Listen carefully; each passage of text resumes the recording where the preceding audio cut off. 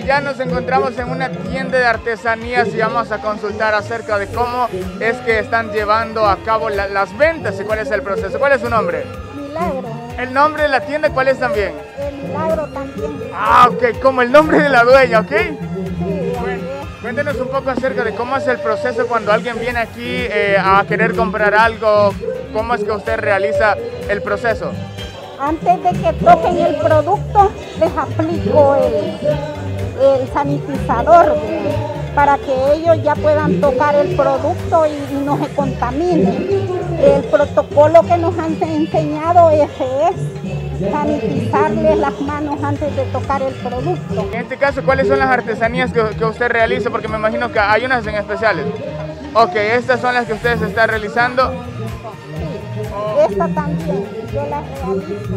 Así es, siempre tenemos que tener en cuenta de que debemos de cuidarnos, ¿vea?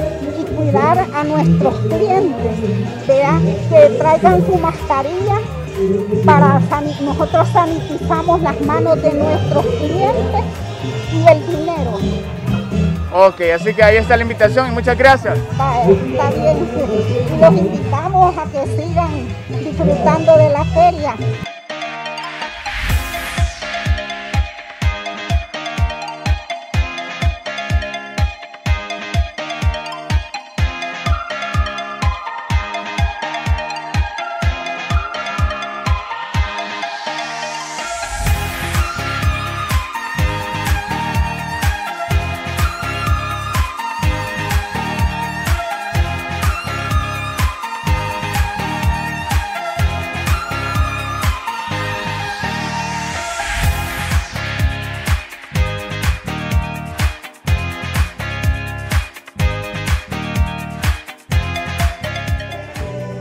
Amigos, continuamos con más aquí en Santiago de María y hoy me encuentro con nuestros amigos de la finca San Ramón. Es un trabajo entre familia, ¿verdad? Cuéntenos, ¿cómo están? Bien, muy bien, aquí contento. años ya de estar trabajando con, con jocote de corona y café, los dos cultivos juntos, jocote de corona en primer lugar de sombra y segundo tenemos el café. Los, dos, los dos cultivos son altamente rentables porque no queremos dejar el café de lado, ya que el café está perdiendo el valor. El valor. Aquí tenemos el vino de jocote, sin ningún, sin ningún químico. Y tenemos también la mermelada de jocote, ya son los subproductos artesanales para mejorar la producción. Es un esfuerzo de familia. Además de eso, como nos estamos diversificando para poder generar otro ingreso para la familia, porque como por el café los precios están muy bajos. Entonces hemos sembrado, aparte del jocote, tenemos también este, cacao, aguacate, este, a flor de isote y, este, y todas las semillas que podamos sembrar para poder generar otros ingresos, porque esta finca tendrá quizás como unos usos, era de, mi, de nuestros padres, que no se vayan a consumir café de otros países cuando aquí tenemos el mejor café del mundo. El mejor café hay varias variedades. Es el de San Ramón, ah, es el de El Salvador, ok, muchas gracias. gracias. Quiero motivarlos a no desanimarse con los precios del café. Tienen que combinar los dos, la sombra y el café, para no quedarse solo con el café. Combinar jocote de corona, pueden combinar con aguacate, pueden combinar con paterna, a tener dos cultivos en la misma tierra para ser altamente rentables y que los bosques no se nos queden atrás. Los bosques tienen que ser una prioridad del país y del mundo.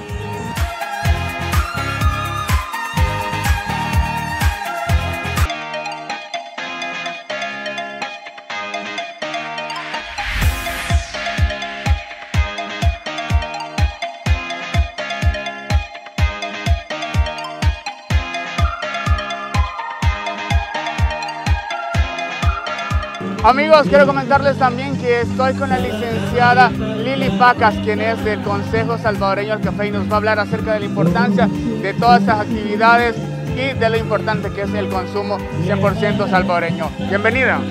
Gracias, gracias por la invitación y gracias por recibirnos aquí en Santiago de María de una forma tan especial.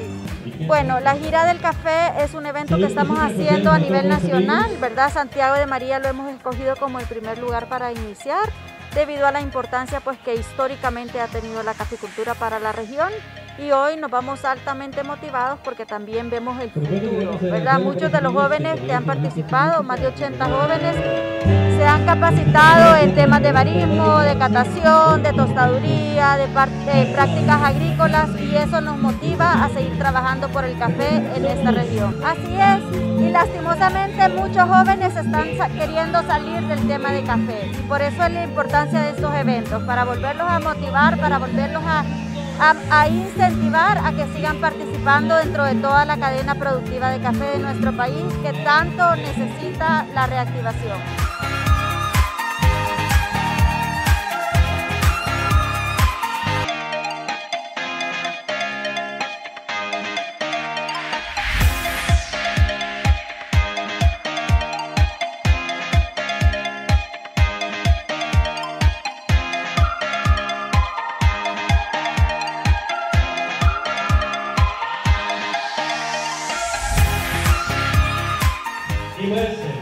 Amigos, y una de las recomendaciones que nos dieron es quitarnos la mascarilla únicamente si vamos a comer algo.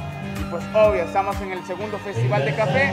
Yo ya tengo mi rica quesadilla por acá que estoy disfrutando con un rico café. Así que los invitamos a ustedes que si van a salir, cuídense mucho y sigan todas las medidas de bioseguridad. Agradecer también a nuestros amigos de Claro por darnos el apoyo para estar asistiendo a todos sus eventos y formar parte de esta reapertura organizada para todos ustedes. Así que a disfrutar.